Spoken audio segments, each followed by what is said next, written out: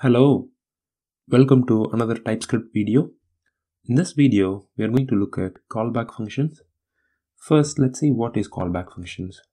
We know what is functions, and we also know we can pass function as a parameter to another function. So basically, when you pass a function as a parameter to another function, and you expect that function to be called by the receiver at some point, then we call that function as callback function. In TypeScript, we can use callback function in both synchronous and asynchronous programming. Let's first see an example for using callback function in synchronous programming. Let's say I want to add two numbers and for that I'm going to add a function called add and it is going to take two parameters a and b and within this function what I'm going to do is I'm just going to simply print the result of the sum of a and b using console.log like this. And if I call this function with two values say 5 comma 2 and if I run this code you'll see the result printed here.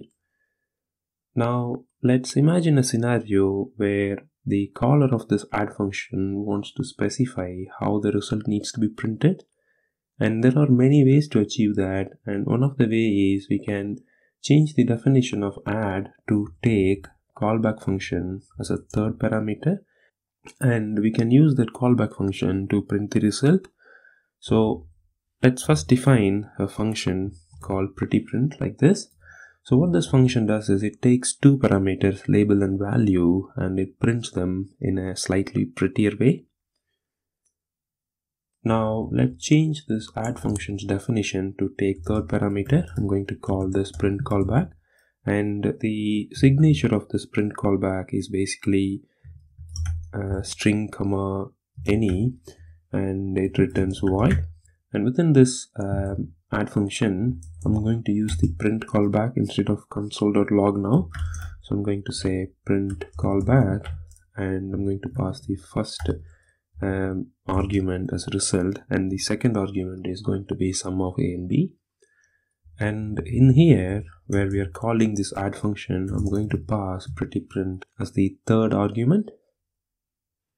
Now if I run this you can see here that the add function uses the pretty print function for printing the result.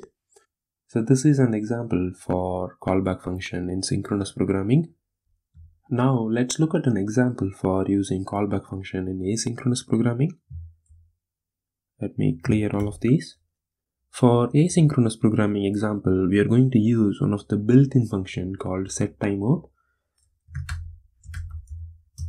If you don't already know, what setTimeout does is it takes a function as a parameter and calls that function of the specified amount of delay.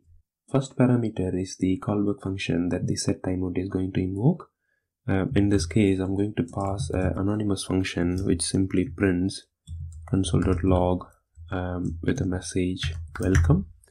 And the second parameter is going to be the delay in milliseconds. I'm going to specify 2000 for 2 seconds. And if I run this, you can see that the result welcome is printed on the screen after 2 seconds. Here we go. Now, how do we know this is actually run asynchronously? Well, let's prove that. So what I'm going to do is I'm going to say console.log and print the message before. And after this set timeout I'm going to have another console log. And that is going to say after. And now if I run this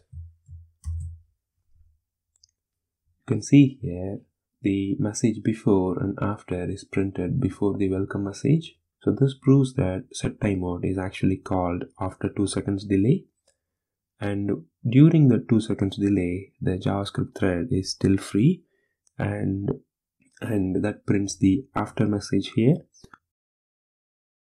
Node.js heavily uses callback function for asynchronous programming.